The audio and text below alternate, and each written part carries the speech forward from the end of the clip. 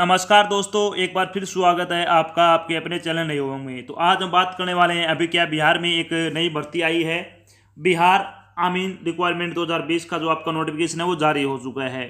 तो इस वीडियो के माध्यम से हम बात करेंगे कि बिहार आमीन जो, आमीन में जो भर्ती निकली है, उसका एग्ज़ाम पैटर्न क्या है, बिहार आमीन का सिलेबस क्या है, बिहार आमीन की सैलरी क्या है, इसके लिए आपके पास क्या क्या योग्यता होनी चाहिए, इसमें टोटल वैकेंसी कितनी है और भी बहुत सारी जानकारी जो कि आपके मन में क्या डाउट बनी हुए हैं, वो सभी जानकारी इस वीडियो के माध्यम से हम क्या डिस्कस करेंगे। तो चलिए शुरू करते हैं आज की जानकारी को। तो आज की जानकारी किस चीज़ की है? बिहार आमीन रिक्वायरमेंट 2020 यानी कि बिहार में आमीन की भर्ती निकली हुई है, उसके बारे में जानकारी है। तो बिहार संयुक्त प्रवेश प्रतियोगी परीक्षा board B C E C ई ने अमीन के पद पर भर्ती के लिए एक अधिसूचना जारी की है। इस अधिसूचना के अनुसार बिहार में अमीन के चालीस पदों पर भर्ती के लिए आवेदन आमंत्रित किए हैं। योग्य उम्मीदवार तीस सितंबर से इकतीस अक्टूबर तक अधिकारी वेबसाइट के माध्यम से बिहार अमीन भर्ती दो हज़ार बीस के लिए क्या है, आवेदन कर सकते हैं। इस वीडियो के माध्यम से हम बात करेंगे बिहार अमीन वैकेंसी पात्रता मानदंड की, चयन प्रक्रिया यानी selection process reported date exam pattern syllabus और सैलरी के बारे में। अब बात करते हैं सबसे पहले B C E C E अमीन वैकेंसी डिटेल के बारे में। यानी कैटेगरी वाइज अगर बात करें तो जनरल की पंद्रह पोस्ट है ई डब्ल्यू एस की चार है बी सी की पाँच है ई बी सी की सात है बी सी फीमेल की एक है एस सी की सात है।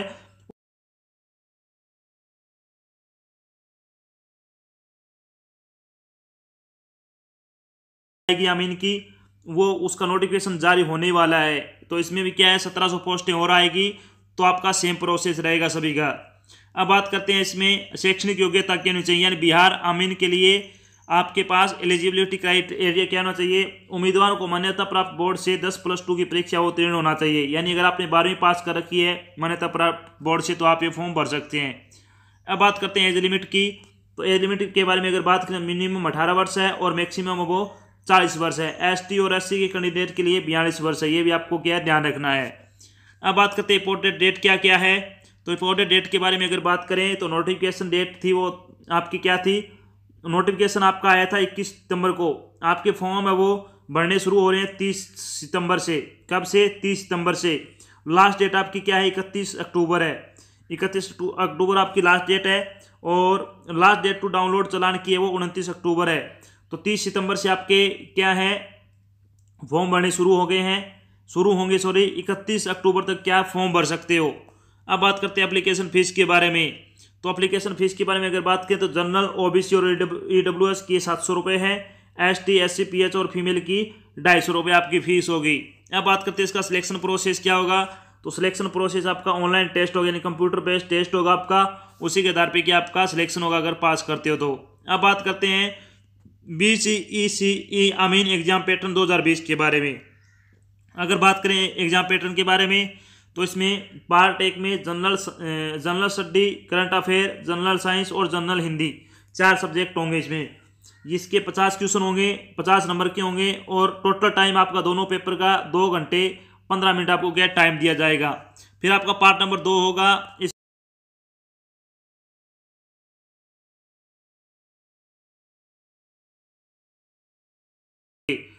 अब बात करते हैं कि पर्सन है वो इंटरमीडिएट पर आधारित होगा, यानी आपका लेवल होगा वो दसवीं बेस पे होगा। प्रत्येक पर्सन एक अंक का होगा। पर्सन है वो दवी भाषी होंगे इंग्लिश हिंदी दोनों में होंगे। पूछे जाने वाले कुल पचहत्तर पर्सन होंगे, अवधि दो घंटे पंद्रह मिनट की होगी। अभी नेगेटिव मार्किंग है, इसमें कोई बात कही नहीं गई है। अब बात करते हैं इसमें सिलेबस के बारे में। तो Bihar army general knowledge syllabus आपका क्या क्या पूछा जाएगा इसमें?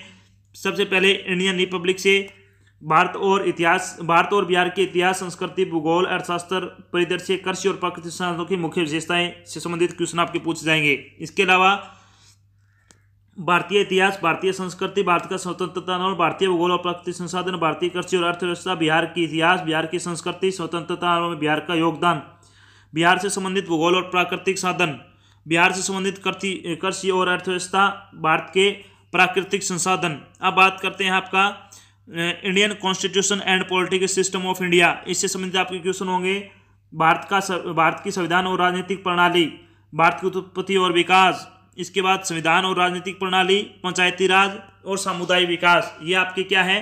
कॉन्स्टिट्यूशन से संबंधित क्वेश्चन आपसे इनसे संबंधित पूछे जाएँगे। अब बात करते हैं करंट अफेयर यानी बिहार आमीन करंट अफेयर सिलेबस 2020 में क्या क्या पूछा जाएगा? अंतर्राष्ट्रीय और राष्ट्रीय आयोजन, राष्ट्रीय और अंतर्राष्ट्रीय पुरस्कार, खेल और खेल व्यक्तित्व वैज्ञानिक विकास और करंट अफेयर से जुड़े अन्य विषय। यानी डेली करंट अफेयर आपका लगभग लास्ट के तीन महीने का आपको डेली करंट अफेयर है, वो याद होना चाहिए। अब बात करते हैं, बिहार आमीन जनरल साइंस का आपका क्या क्या पूछा जाएगा? तो जनरल साइंस में सबसे पहले बात करते हैं फिजिक्स की। तो प्रकाश से जो आपका टॉपिक है लाइट इसमें प्रवर्तन का अनुप्रयोग, उत्थान, उत्तल लेंस और दर्पण के उपयोग।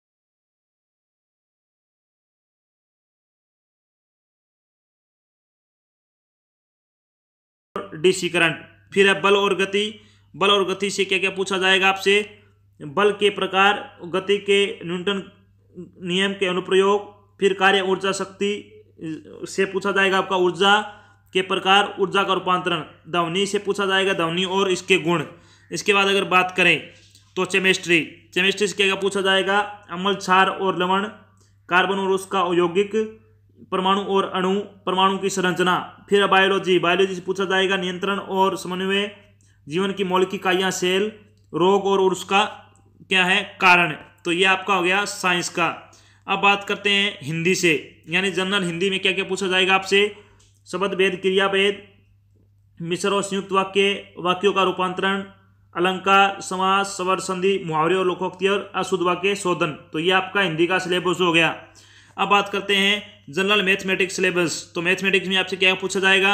Number system, time and work mensuration ratio and proportion, geometry, average, profit, loss और discount, percentage, time and distance, simple and compound interest. तो ये आपका हो गया सिलेबस। अब बात करते हैं, जब आपका सिलेक्शन हो जाएगा पेपर होने के बाद तो आपका क्या है? सैलरी क्या होगा? तो सैलरी के बारे में अगर बात करें तो आपका पे लेवल है वो आपका स्टार्ट होगा इक्कीस हज़ार सात सौ से उनहत्तर हज़ार सौ रुपये तक आपकी यह सैलरी होगी। पे लेवल आपका थ्री इसमें लगेगा। तो आपकी ये होगी बिहार आमीन की सैलरी तो ये तो थी आपकी एक छोटी जानकारी, जो कि अभी बिहार में क्या आमीन की भर्ती आई हुई है, उसके बारे में। आशा करता हूँ मैंने आपको जो जानकारी दी है वो आपको अच्छी लगी और समझ में आई है। अगर जानकारी अच्छी लगे तो इसे लाइक और शेयर ज़रूर करना है। अगर आप चैनल पर नए तो चैनल को सब्सक्राइब कर ले। साथ में आपको एक इधर एक बेल आइकन दिखे, उसको आपको प्रेस करना ताकि जब भी कोई नया वीडियो डाल जाए, आपके पास उसका नोटिफिकेशन आ जाए और आप जल्द से जल्द क्या है, उस